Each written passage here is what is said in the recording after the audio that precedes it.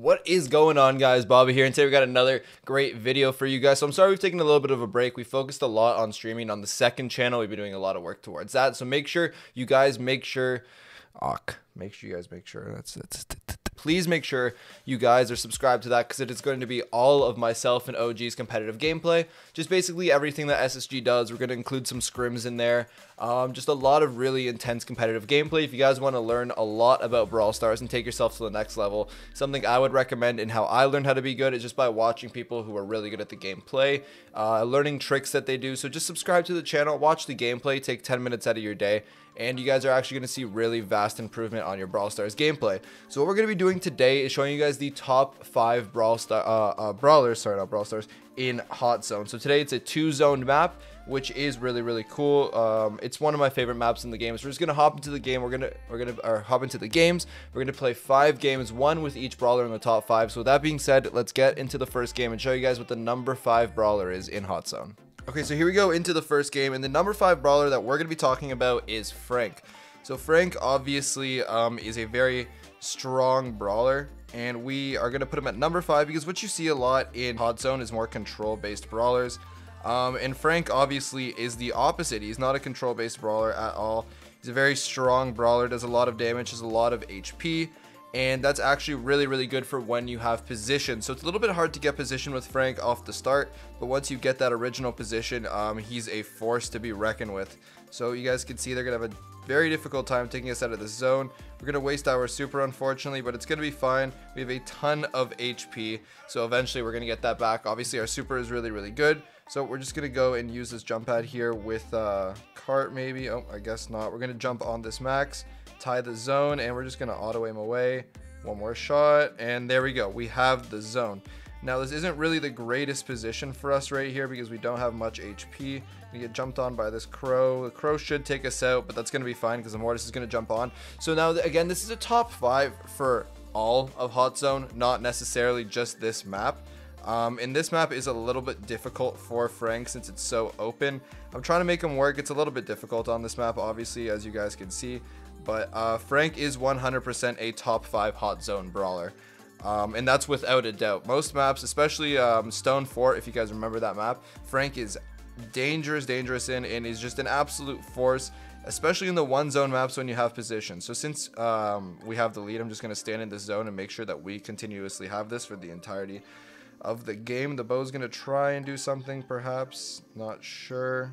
Um, they're trying to make a move. This is just going to be an easy super to keep them out.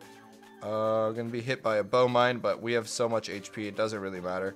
Gonna push up and just go in these bushes, and that's gonna be game. So this is the number five brawler for Hot Zone. Again, it wasn't really the greatest game for Frank, or the greatest map for Frank, but in all Hot Zone maps, Frank is the number five brawler in Hot Zone. Now let's move into the next game and let's reveal who number four is going to be. Okay, so here we go into our next game and the number four brawler for Hot Zone is going to be Bea. Um, no pun intended there.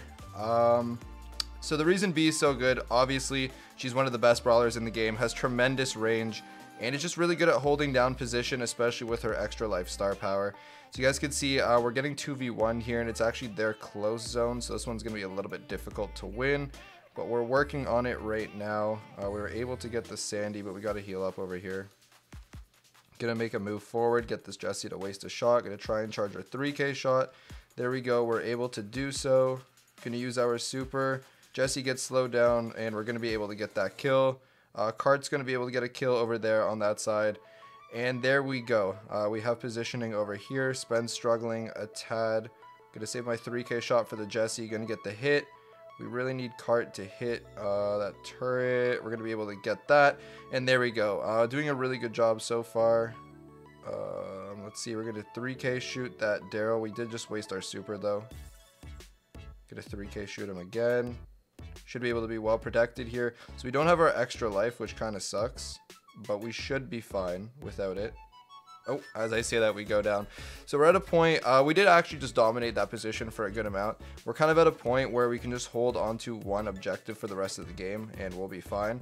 So I guess that's what we're going to do over here, just hold on to this one point uh, as we do have the lead. I'm going to step out and try and charge my 3k shot because obviously that's a lot of damage. We want to be able to do a lot of damage. Card's going to jump over. We're going to help Spen right here. Uh, just winning this. Gonna be able to get the kill. This map is really interesting because of the double zone. Uh, just get that quick kill over there. Card's doing a really, really good job at just doing damage and staying alive. Gonna be able to take him out. Card's gonna be able to get a kill, and that's gonna secure the game for us. So four seconds left. Three, two, one, and that just showed how strong Bea was. We're able to just kind of walk around and do damage uh, wherever we chose.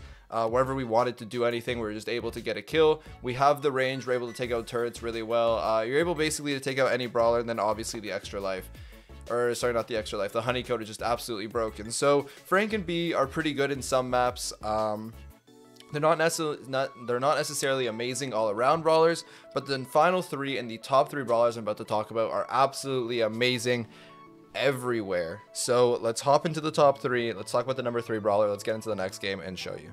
Okay, so here we go into the next game and we're going to be going with Nita. So now again, this is a little bit more of a ranged map, but Nita is really, really good here. So we're going to use the jump pad and jump in because we want to get more to a medium ranged uh, confrontation than a ranged one. So we're going to be facing Mr. P.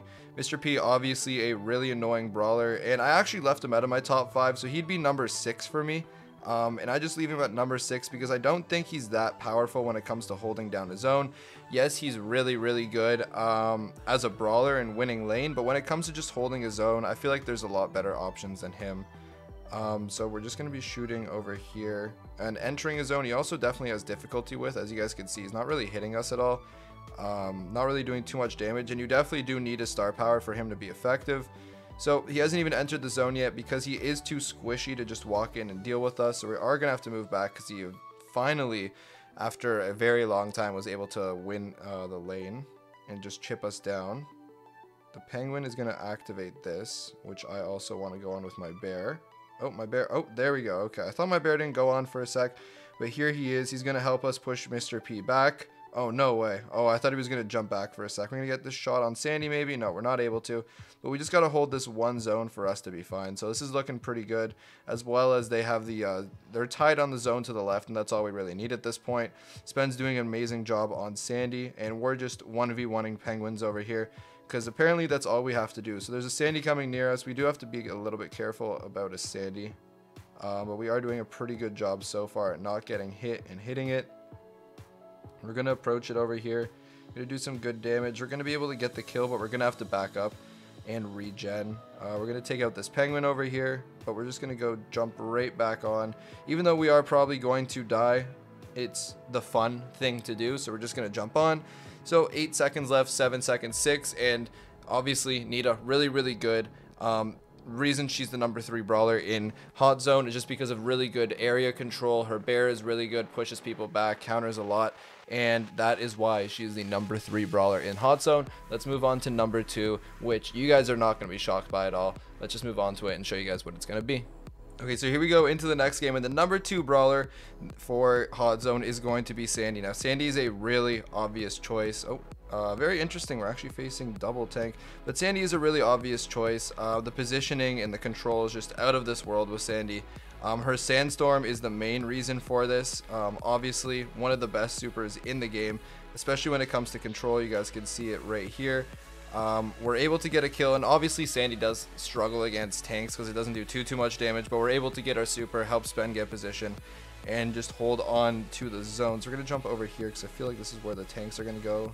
Um, only one of them, but we were able to get the kill, so that's really good. Gonna put our sandstorm down. Wasn't the greatest use, but I guess it was alright. Gonna get some shots over here. Jump up with this Nita, and we're gonna be able to get that kill really easily. They're double tanking on the right side, so I guess I'll just stay in here since Spen jumped over and just collect the points in this area. Spen's able to get the kill. Uh, Nita's going to jump over, and I believe we win this 1v1. It's an even amount of shots, but I think we have a little bit of a faster uh, recharge time. So we're doing a pretty good job, 20 to 4 right now, and obviously Sandy's just dominant because of the sandstorms. We're going to put this out. This is immediately not going to let uh, Nita regen, so Nita wouldn't be able to regen anyway, so Nita just kind of ran away. Uh, Frank's going to jump in. Obviously, we can't 1v1 a Frank. We got to kind of chip him down. So we're going to get some a few shots off on him. We're going to put our super down, which isn't going to let him regen. Uh, didn't know Spen was jumping in, so that kind of wasted our super over there, but I suppose we got the lane anyway, so it doesn't really matter. Um, I feel like they might have given up at this point. Again, same thing now. I got to just move back, not get too close to this Frank. Uh, get some shots off. Spen's to jump in. He's to be able to get the kill. And again, maybe not necessarily in this map um, 100%, but Sandy is the number two brawler when it comes to Hot Zone for the incredible control with the star power and uh, with her super, obviously. And that is going to be why Sandy is the number two brawler in Hot Zone. Now, number one is, in my opinion, really, really obvious. I don't know if you guys will agree with it, but let's hop into the next game and let's show you guys what the number one brawler in Hot Zone is. Let's get into it. Okay, so here we go into our final game, and we're going to be going with Emz. Now, Emz, in my opinion, is by far the best brawler in Hot Zone, and it's just a lot to do with the Hot Zone mechanics. You guys can see how big the Hot Zone is. I'm just waiting. Oh, oh I guess a tick's going to go right here, which is going to be an easy kill for us. You guys can see exactly how big the zone is. The zone is basically the exact size of an M shot, and one M shot maximum damage is about 2.5 thousand if you line it up correctly.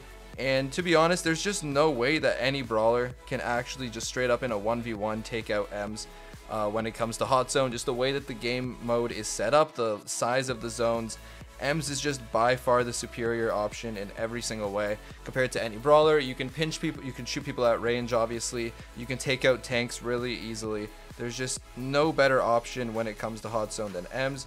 You guys can see that right now. We're just kind of tearing through the other team with it, getting multiple kills, easily holding position, going to be able to do some good damage over there, take out the tick. And I mean, it's just very, very, very easy with Emz. And that is why she is the number one brawler, basically just due to the fact that her shot is exactly the size of the hot zone. It's exactly what you need to do maximum damage. And just because of that, she's basically a broken brawler in this mode. Um, we've done an excellent job so far holding this lane. This is even close to her best map, and you guys can still see how well she performs. We're able to take out Jessie because the Jessie is not able to come into the zone. We're a little bit low, so we're going to back off, but we're able to use our super to slow down the Darryl, which is going to help Cartridge get the kill. And you guys can see we're going to continue running through these guys. Um, just nothing that they can really do. They can't come close to us, or we're just going to spray them down and get them killed. Um, and if they do end up coming too close to us, we have a super that just allows us to get away. And these are the reasons why Emz is 100% the number one brawler in Hot Zone. So anyways, if you guys enjoyed the video, definitely let me know because Emz is an absolute beast. And you guys should all be using Emz in Hot Zone. And especially these other brawlers as well. Obviously, it's dependent on the map, but I would recommend using all five of these brawlers as much as you can in Hot Zone. Hot Zone being a 24-7 mode, you guys can get all these brawlers as you see for me. Outside of Sandy, they were all 900, so I would recommend you guys do the same. Anyways, I hope you guys enjoyed. That's going to be it for the video today. If you did, leave a like on the video and make sure you subscribe. That's going to be all again. Sorry for the five-day uh, absence. I was working on a lot of other stuff, but I will be back again tomorrow. So see you guys then. Peace out until then. Bye, boys.